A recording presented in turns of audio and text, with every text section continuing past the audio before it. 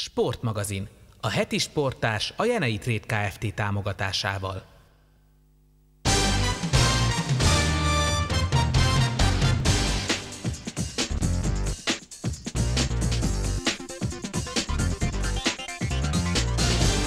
Trombita és sak. Ismét sokan ültek asztalhoz a hagyományos újévi szellemi tornán. Táblás ház a táblák előtt. A negyedik zárófordulót rendezték a Kiskun Kupa darts verseny sorozatban. Szilveszter után újévi párharcokkal folytatódott a Connection Kupa téli teremlabdarúgó bajnokság a Bibó gimnáziumban. Itt az új esztendő, és itt a 2016-os év első sportmagazinja. Jó estét kívánok, köszöntöm a Halas Televízió nézőit! Megköszönve eddigi kitartó figyelmüket és reménykedve további hűségükben állítottak össze mai fél óránkat.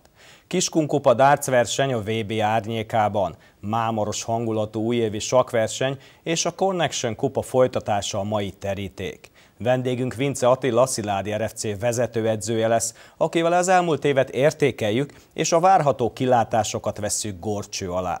Remélem, velünk tartanak.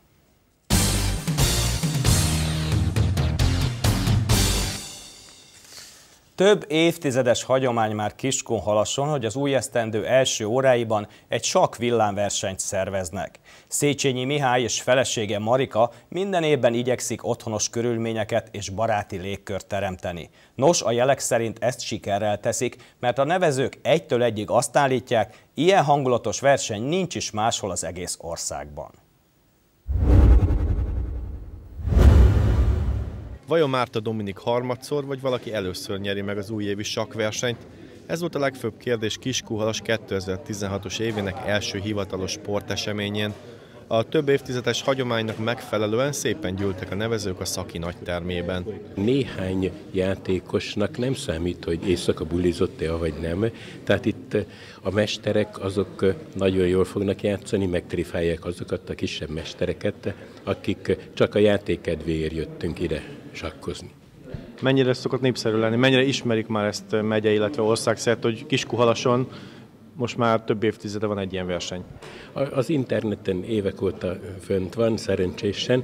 Hát jönnek itt Szentendréről, az ország különböző részéről, Röszkéről, Szegedről, Szolnokról, Kecskemétről, Soltvatkert, Kiskörös, tehát itt a környékbeliek Kiskonféregyház a szentesieket, láttam itt most mai nap is meg fognak jelenni, Hát nagy kelete van ennek a versenynek, és úgy látom, hogy egyre népszerű, mert az elmúlt évben 20 valahányan voltunk, de az mostani előzetes nevezések szerint már 30 körül várható, hogy játszanak. Máté Mária az alkalomhoz megfelelő öltözetet választott, de hogy miért tartotta fontosnak a nevezést, azt tőle hallhatják. Azért, mert már voltam kétszer, és mind a kétszer nagyon jól éreztem magam, és gondoltam a legjobb, amit tehetek, hogy a sakkal kezdem az új évet. Honnan értesült róla, hogy van ez a verseny, illetve hol él, hol telnek a napjai, amikor éppen nem Kiskuhalason versenyzik? Hát amikor éppen nem itt vagyok, én Angliában élek, tulajdonképpen Oxfordban, de úgy tudtam meg, hogy van ez a verseny, mielőtt először eljutottam rá, hogy egyszer megnéztem a Magyar Sakszövetség honlapján a versenynaptárt és mivel nagyon megtetszett maga a versenykírás, ezért kipróbáltam, és mivel jól éreztem magam, úgy gondoltam, hogy akkor ebből hagyományt teremtek. Az eredményesség vagy a játék a lényeg ezen a napon? Nekem speciál mind a kettő, de a jó hangulat a legfontosabb. És az elején már emlegetett fiatalember, Márta Dominik is nagyon készült. A Sziládi Gimnázium diákja az elmúlt két kiírásban is elvitte a kupát. Volt egy kisebb ünneplés, de nem vittem túlzásban, mivel tudtam, hogy ma a versenyem van. Milyen eredményes számítasz? Mennyire nyom tét, hogy már azért többször megnyerted ezt az újévi sakbajnokságot? Hát láttam most komoly kihívókat, úgyhogy mindenféleképpen meg szeretném nyerni ezt a versenyt. A játék számodra a legfontosabb, vagy az, hogy egy picit máshogy kezd az új évet, mint esetleg a többi kortársad? Hát mivel itt nagyon kellemes közeg van, ezért inkább az, hogy kellemesen kezdjem az új évet, nagyon jól érzem magam itt minden, minden évben. A koráestig tartó partik végén ismét Márta Dominik volt az újévi sakbajnok, ezzel zsinórban már harmadszor mondhatja el magáról, hogy mattot adott január 1-ének. Tavaly kezdődött és az idén ért véget a hagyományos Kiskungupa nyílt darts verseny sorozat, amelynek rendre a rendezvú sörbár külön terme nyújt lehetőséget. A sorozat igazi pikantériája, hogy három forduló alapján rendkívül szorosan alakult az összetett állása, így a negyedik utolsó körben dölt el minden. Többen a célzó vízben hittek, mások az új év sorsfordító erejében. Minden korábbi rekordot megdöntve nagyon sokan neveztek az új év első, a négyfordulós Kiskun kupa utolsó versenyére. A rendezvú sörbár különterme esélyesekkel és trónkövetelőkkel telt meg. Kiskun kupa nagyon régi kupasorozat a Kiskolcsi Dászklubnak, most már Halasdásztémnek, és egy-két éves kiadás után idén újra meg tudtuk rendezni a Halas kupával együtt. Mindig tavasszal Halas kupa, ősszel Kiskupa sorozat, és hála Istennek jó sokan vagyunk, úgyhogy érdemes rendezni a kiskukupát, és reméljük a jövőkbe is. Eléggé szoros az első négy-öt helyen a, az állás. Csengeléről Nagy Bence és Nagy Gábor benne az első háromba, tőlünk Darányi Zoli, Kutyka Zsolti fog még beleszólni itt a, a pontokba, a pontgyűjtésbe, mert hát minden, minden forduló pontot kell gyűjteni, és az első négy-öt helyezek között egy-két pont különbség van, úgyhogy izgalmas partik várhatóak a mai nap. És nagyon-nagyon sokan vagytok. Igen, igen, hála Istennek, itt a 32-es tábla most már betelt, úgyhogy örülök neki itt új év után, mert hát ez a verseny egy-két nappal hamarabb lett volna megrendezve, de el kellett szalasztanunk, de nagyon jól jött a, az elszalasztása, mert még többen vagyunk. Az egyik esélyes, Kutyka Zsolt eddig a vártnál is jobban menetelt, most akár a dobogó tetejére is felállhatott. Ez a három forduló ez arról szólt nekem, hogy ez egy felmérés, egy tapasztalat, de igazság szerint én nekem ez nagyon jó tapasztalat volt. Az elmúlt három, forduló, három fordulóban elég jó hely, teljesítményt értem el. Lett egy harmadik helyem, egy első helyem, és lett egy negyedik helyem. Most ez az eldöntő, ez a negyedik forduló. Csoport második vagyok eddig, úgymond az összesítésben. Hát nagyon remélem, hogy jó fog sikerülni ez a verseny is. És nagyon, nagyon remélem, hogy ez az év is jó fog sikerülni. Kik lettnek a legnagyobb ellenfelét? Kire kell vigyáznod nagyon? Hát igazság szerint a Bácsalmás Antal, Balkó István, és igazság szerint mindenki. Senkit nem szoktam lenni, úgyhogy mindenki. Úgy tűnik a számomra, hogy a dobogó már biztos, de akár nyerhetsz is. Ö, minden megteszek a nyerésért. Minden meg fogok tenni, a legjobb a formámat szeretném hozni, és szeretném, hogyha ott lennék a legjobb háromban. Apa és fia, Nagy Gábor és Bence Csengeléről érkezik minden versenyre. Helyzetük különleges, hiszen Bence vezeti az összesített pontversenyt, Gábor pedig jelenleg a bronzot érő helyen tanyázik. Az a probléma, hogy egyre negatív szériába tartok. Az első fordulót vereség nélkül megnyertem, egyetlen egy szettes se buktam, mindegyiket x0-ra nyertem, onnantól kezdve egyre rosszabb. Most megpróbálok mindent kiadni magamból, és megnyerni, hogy az összesítés is megnyerjem. Jelenleg az első helyen állok, próbálok ott maradni. Ilyenkor mit gondolsz a verseny előtt, hogyan kell koncentrálnod, mire kell figyelned? Semmire. Ki kell kapcsolni, és csak azt dobni, amit tudsz, és koncentrálni. Kire figyelsz igazán, vagy csak saját magadra elsősorban? Csak saját magamra senki másra. Neked csak a győzelem az elfogadható eredmény? Igen. Hát itt szilveszter után kíváncsi leszek az eredményemre, mert elég hosszúnak sikerült a szilveszterünk, de jól, jól esett, jól telt. Nehéz, erős a mezőny,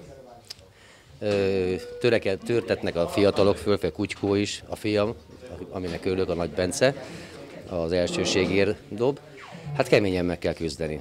Oda kell figyelni, mert komoly versenyzők vannak. Gabi, neked különleges a helyzet, hiszen a fiad vezeti az összesített ranglistát, és te vagy a harmadik. Gondolom drukkolsz is neki, de hát gondolom te is elől akarsz végezni. Hát hogy hogyha összekerülünk, akkor, akkor nincs, nincs ö, ö, apaság, ö, barátság, ugyanúgy versenyzünk, és a jobbik győz. Mire számítasz ma? Milyen eredménnyel lenni elégedett a végén? Hát maximum harmadik lehetek, ezt a célt szeretném kitűzni, és ezért hajtok hogy ezt megszerezzem. A záró fordulót Balkó István nyerte, dr. Bácsalmási Antal és Tóth Tamás előtt. Az összetetben végül Kutyka Zsolt 60 ponttal diadalmaskodott, így ő vihette haza a Kiskun kupát. A második helyen az 55 pontos Nagy Bence végzett, a harmadik helyre pedig az 54 pontos dr. Bácsalmási Antal ért oda.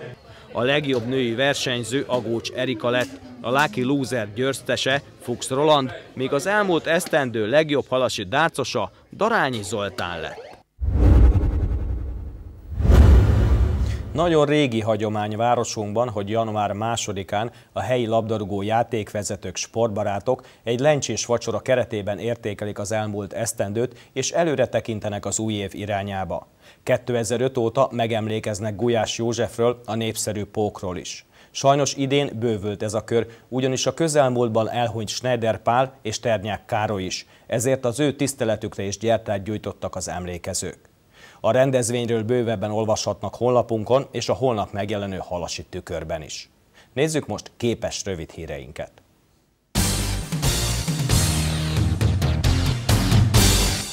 Nagyon előkelő pozícióban várják a tavaszi idényt a halasi kézilabdások az aktuális goldobó listán.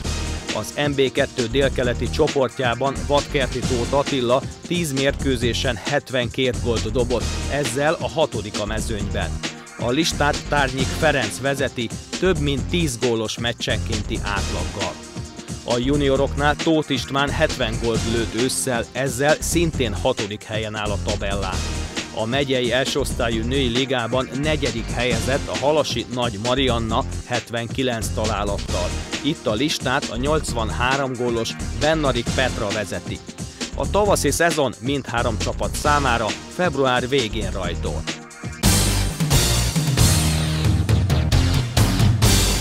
Január 11-én kezdi el a tavaszi idényre való felkészülést a Faddikor Kiskunhalasi FC a megyei elsőosztályú labdarúgó bajnokságba.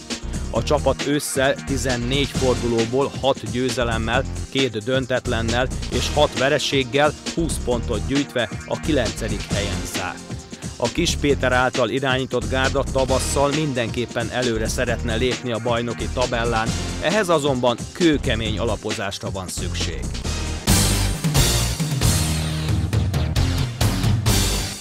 A KFC 2 Spartakusznak is van bőven javítani valója a tavaszi évadban.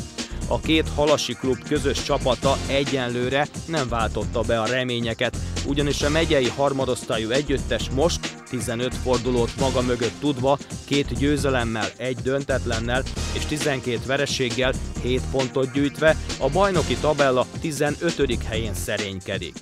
A téli időszakban alapos formajavulásra lesz szükség ahhoz, hogy a KFC 2 Spartacus csatlakozni tudjon a középmezőny aljához.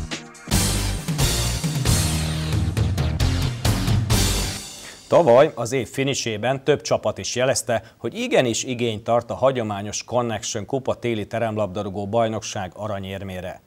A sorozat felvezetésében a Cel FC, a Rosé, a Lindau, a Totyaboltja, a Retro, vagy éppen az Laza FC okozott így vagy úgy meglepetést. Az idei folytatásban tovább növekedtek az izgalmak, mert sokan szeretnék begyűjteni az óriási presztis jelentő trófeát.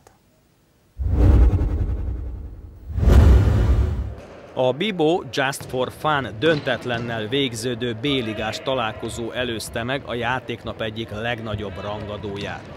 A sokszoros bajnok CLFC a jócskán megerősödött FC Planen Bauval meccselt. Játszottunk már gyöngébb ellenfél is, meg, meg szerintem hozzánk hasonló kaliberű csapattal is. Alapvetően nem állunk rosszul. A múlt heti, vagy hát a, a, a múltkori mérkőzésünket sajnos elrontottuk. Szerintem az X az, az nekünk igazából így kevés úgyhogy megnyerhetük volna azt a mérkőzést is, hogyha jobban odafigyelünk. Mit tudtok a mostani ellenfélről, és hogyan kell ellenük játszani? Hát alapvetően most a tabellán elfoglalt helyük az ugye előttünk vannak. Én nagyon nehéz meccsre számítok, hogyha csak akkor nyerhetünk szerintem, hogyha a koncentráltan és összeszedetten fogunk játszani. Szerintem szívos ellenfél, őnekik is jó játékosaik vannak, úgyhogy bízom benne azért, hogy nyerünk. A tavalyi gárdánk viszonylag egy összeszokott csapat volt, ezt most néhány új játékossal sikerült kiegészítenünk, és ezért úgy gondolom, hogy talán az első három-öt helyben tudjuk majd zárni az éves rangadót. Nyilván, mint minden más ember, most a két hónap között azért ugye próbáltunk pihenni, egy kicsit kikapcsolódni, úgy érzem, hogy a formánk az nem százszázalékos, de, de próbálunk megtenni mindent a győzelem érdekében. Nagyon-nagyon erős az ellenfeletek, hiszen sokszor győzött már a CLFC ellenük. Hogyan kell játszani? Próbáljuk ugyanazt a taktikát tartani, amit eddig is ö, tartottunk, miszerint védekezés, kevés kitámadással, ezzel próbáljuk operálni a ellenfelet. Egy x is kiegyeznénk, én azt gondolom, hogy ha aki évről évre követi a, a rangadót, végigkísérte, hogy egy erősebb csapat szerintem, mint a miénk, de sose lehet tudni, két éve egy 0 nyertünk ellenük. Fehérben a Cel, kékben a Planen Bau támadta a kaput. A néhány perces kiegyenlített játék után Horváth Ákos lövését védte bravúrral Katona Miklós. Ezután a Celnek is adódtak lehetőségei, melyek egyikét Olá Máté váltotta gólra. Egy nullára ment a fehér csapat a félidő finisében, aztán többször is kis hián egalizált a kék egylet. A fordulás után Trója veszélyeztetett, aztán a második felvonás közepén Olá Máté megismételte első félidőbeli gólörömét. A hajrában még mindkét oldalon adódtak lehetőségek, de az eredmény már nem változott. FC Planen Bau, CelFC 0-2. A hatodik forduló teljes eredménylistája a holnap megjelenő halasi tükörben olvasható. Kedves nézőink, a folytatásban is labdarúgás, mégpedig utánpótlás labdarúgás vendégünk ma este Vince Attila, a Sziládi RFC vezetőedzője. Jó estét kívánok, szia Attila! Szervusz, üdvözlöm a tévénézőket! Külön megköszönöm, hogy elfogadtad a meghívást, hiszen ha jól láttam, most is egy lábon állsz, mert hát valami komoly hadműveletre gondolsz. Ez előbb a tudósításban elhangzott egy operálás, tehát egy más következik csütörtökön, ha jól tudom, egy névnapi ajándékot kapsz. Mi is ez, Ati? Így van, hát elkopott a porcat érdembe valószínűleg a, most a jobb oldali térkalácsom alatt valami probléma van, de majd a földesi főorvos úr csütörtökön ezt diagnosztizálja, és remélem, hogy újra bírok futni. Mikor szeretnél futni, mert tudom, hogy olyan nyughatatlan természet vagy. Hát minél hamarabb. Egy hét. Vigyázz magadra Attila, mert a másik lábadat már megműtöttéd. Térjünk azért a Sziládi RFC-re, talán egy, kicsit derűsebb téma. Milyen évet zártatok 2015-ben a Sziládi RFC? Nekem tudósítóként az jut eszembe, hogy rengeteg csapatot versenyeztetek, nagyon-nagyon szertágazó ligákban. Hogyan győztétek ezt, és te, mint vezetőedző, aki átlátja a történéseket, hogyan láttad mindezt? Hát igazából fél évkor mi nem nagyon szoktunk értékelni, hiszen az őszi szezonnak van csak vége. Az biztos, hogy 172 fiúval és 20 lányjal vágtunk neki a 2015-2016-os évadnak. Ebbe U7-től egész a női csapatig, 8 edző kollega vezetésével. Ugye az U7-esünk az nagyon egyszerű helyzetben van, hiszen a Bosik programba versenyez, az adott hétvégeken, amik ki vannak írva nekik, azokon szerepelnek, illetve egy-egy utánpótlás tornán. Az U8, U9 az együtt utazik a Kölyökligára, itt 32 csapat van, nagyon jól szerepeltek, az egyik csapatunk első lett, a 16 csapat közül a másik hetedik, így a tavaszi szezonban a felső ágon fogjuk folytatni. Tehát úgy gondolom, hogy ebből a 32 csapatból a legjobb 16-ban benne lesz egy Debrecen, egy Szolnok, egy Ferencváros, egy Utah, egy Honvéd, és nagy megtiszteltetés a számunkra, hogy a Szilárd RFC is biztosította a, mérkőzéseken a részvételét. Az U9 út így szintén ugyanígy, ott harmadik hely és egy hetedik hely, ez is adapotott arra, hogy a felsőházon folytassák a srácok, és a tavaszi szezonban, ha már az egyik párosból az egy, egyik valaki, bármelyik csapat a legjobb hétbe kerül, az már én úgy gondolom, hogy Szilárd RFC-nek nagy elismerés az országos szinten. Az U16-os korosztályunk az a megyei bajnokságban szerepel, Velez Attila vezetésével ott a harmadik helyen fordulnak. Voltak jó mérkőzéseik, volt a Majsa ellen egy olyan mérkőzés, ami szinte már megnyert mérkőzés volt, de megfordította a Majsa, egy kicsit összeszedettebb csapat benyomását keltette a második félidőbe, megérdemelten vezetik a bajnokságot de nem sok pontkülönbség van a csapatok között, tehát lehet javítani a tavasz folyamán. Az U17-es és az U19-es csapatunknak egy teljesen új bajnokság lett ez, amiben most versenyzünk, az MB2 délkeleti csoport. Gáspár Imre és a Teleki Csaba vezette a két korosztályunkat együtt. Voltak nagy arányú vereségeink, voltak nagyon meglepő döntetleneink, illetve pontszerzéseink, győzelmünk. Én úgy gondolom, hogy ez a fél év arra volt jó, hogy megszokjuk ezt a légkört. Ez egy más játékstílus, más gyorsaságot igénylő játék, ami a, mint ami a megyébe van. De jó alapot ad a megyei bajnokság arra, hogy az U17, U19 jó eredményeket érjen el.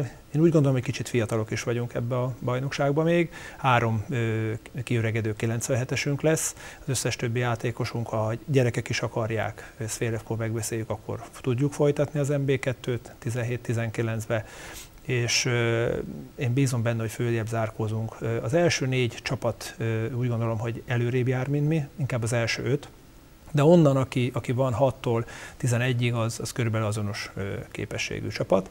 Ott a, inkább az dönti el a mérkőzéseket, hogy ki koncentrál jobban, illetve mm, ki hogy tud felállni. Hogy mennyit játszhatunk fiatalt fönt nálunk, ugye nem teljes korosztályot, mivel új korosztályokról van szó. A női csapatunk a Csillagpisti vezetésével előkelő 5. helyen van, 9 pontot szereztek, megsüvegelendő a teljesítményük, hiszen 17-18 éves, 16 éves lányokról van szó, megyei bajnokságban indultak. Ezek voltak a bajnoki mérkőzéseink, ezen fölül ugye részt vettünk, illetve részt veszünk majd több kupán. Attila, itt tulajdonképpen az egész vertikomot fölöleltétek, a Szilágyi RC fölölelte, tehát egészen a, az U7-es, U6-os korosztálytól kezdve az U19-esig a megyei első osztályban, az MB2-ben, illetve Kölyök Ligában.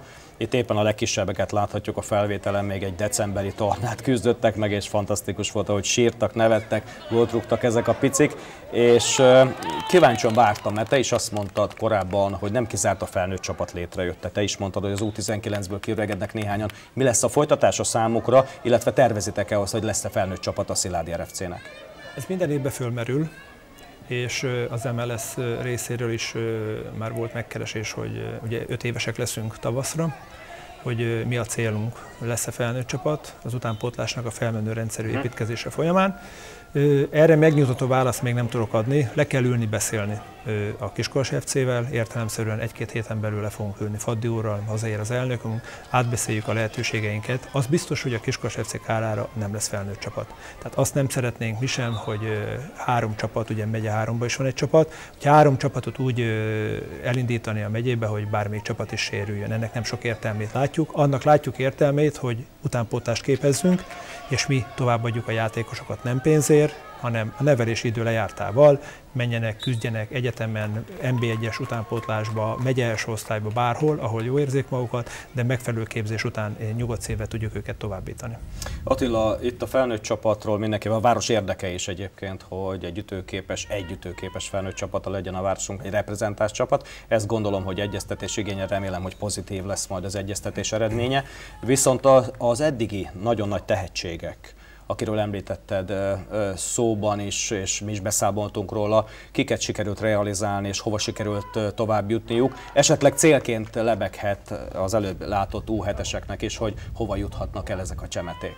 Igen, ez egy nagyon érzékeny pont, úgy gondolom a magyar labdarúgásban, hogy a, a vidéki bázisokról kikerülő utánpótlás játékosok, akik elmentek már, Lőrinc Attilát, ha említem, vagy László Noelt, vagy Olámáti. Tehát nagyon sokan kerülnek nem csak innen a Sziládiból, hanem a környező településekről, hiszen nem olyan régi egyesület vagyunk, öt évesek, de utoljára most a Papdomi, illetve Sohajda Merlin került Kecskemétre, vagy a Temesvári Tekla ugye Szegedre, és be is mutatkozott az MB1-ben. Nincsenek könnyű helyzetben.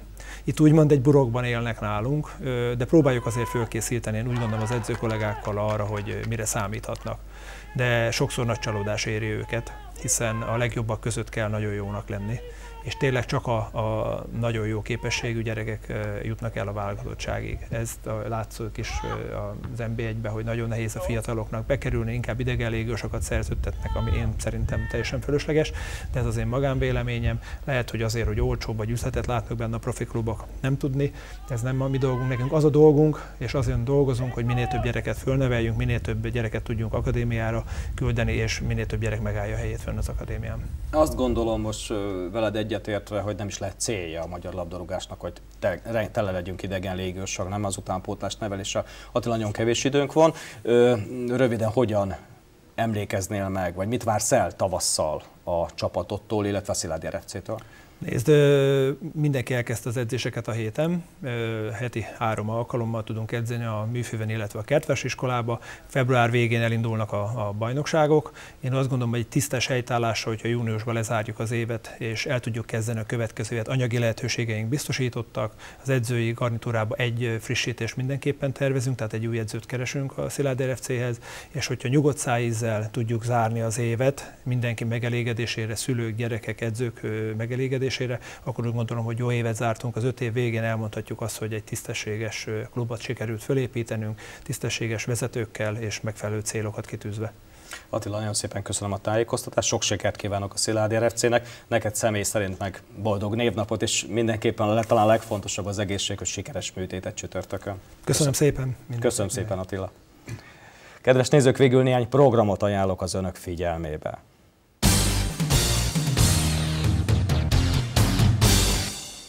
Január 9-én és 10-én szombaton és vasárnap folytatódik a Connection Kupa téli teremlabdarúgó bajnokság a Bibó gimnáziumban. A 7.-8. fordulóban ismét kivételes párharcok, izgalmas mérkőzések kérnek figyelmet az érdeklődőktől.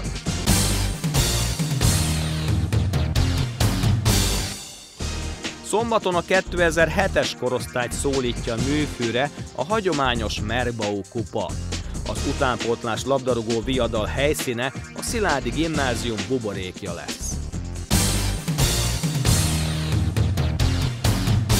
Kedves nézőim, megköszönöm már a kitüntető figyelmüket munkatársaim nevében is. Viszontlátásra egy hét múlva, viszontlátásra további jó televíziónézést kívánok Önöknek.